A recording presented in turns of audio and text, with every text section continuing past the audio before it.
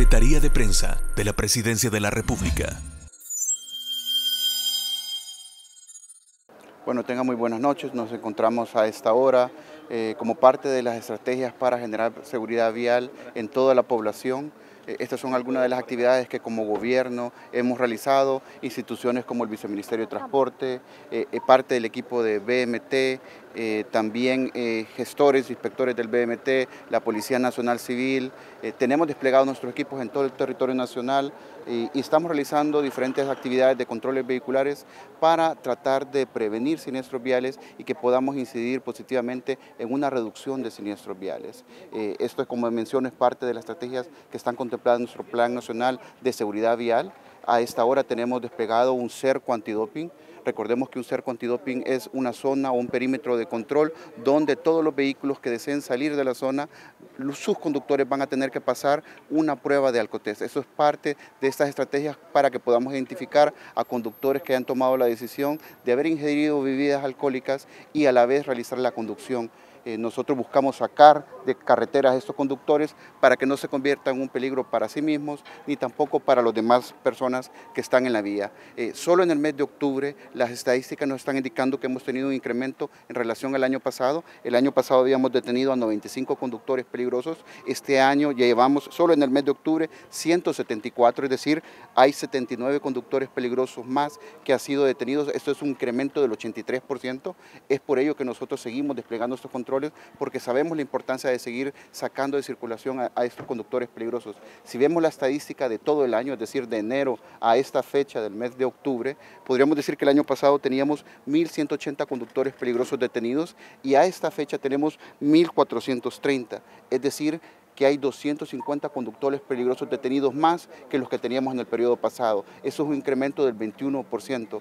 Por eso este tipo de actividades se vuelven relevantes. Vemos que sigue, teniendo una tendencia importante el número de personas eh, que son detenidas por el delito de conducción peligrosa.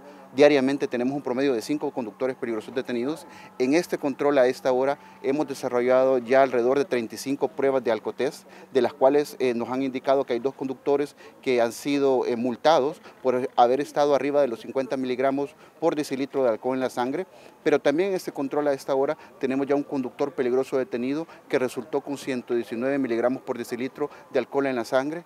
Eh, como gobierno nos vamos a mantener en la carretera realizando ese tipo de controles. Eh, siempre hacemos este llamado a la población, lo hemos venido diciendo durante estos últimos meses. El objetivo de estos controles no es detener a los conductores, sino que asumamos la responsabilidad y, y el respeto que tenemos que tener de la normativa para no ponernos en riesgo y no poner a nadie en la vía. Así que si usted ha ingerido bebidas alcohólicas, evite conducir un vehículo automotor.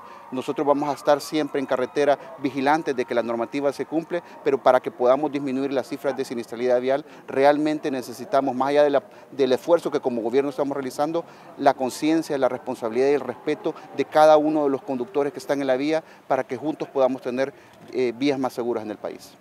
Bueno, nosotros con el despliegue que tenemos actualmente eh, hemos identificado más conductores peligrosos, pero también es importante mencionar que estamos viendo un leve eh, cambio en el comportamiento de estas conductas de riesgo a conductas un poco más seguras. Sin embargo, lo que las estadísticas nos está diciendo, de acuerdo a las pruebas de alcotest, es que las personas están saliendo con un poco menor en los grados de alcohol en la sangre. Sin embargo, esto no es suficiente, siempre seguimos multando y deteniendo conductores peligrosos. El llamado y lo que nosotros siempre recomendamos como gobierno es que no ingiera bebidas alcohólicas si es que va a conducir un vehículo automotor.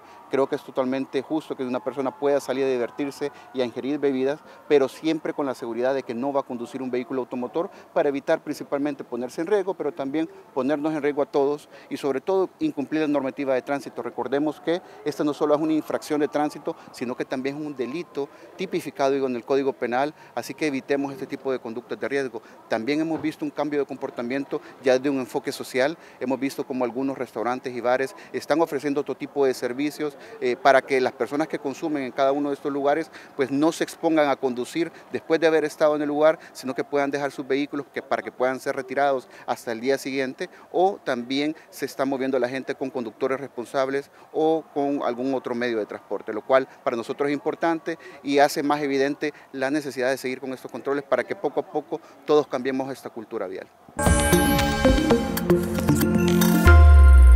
Secretaría de Prensa de la Presidencia de la República.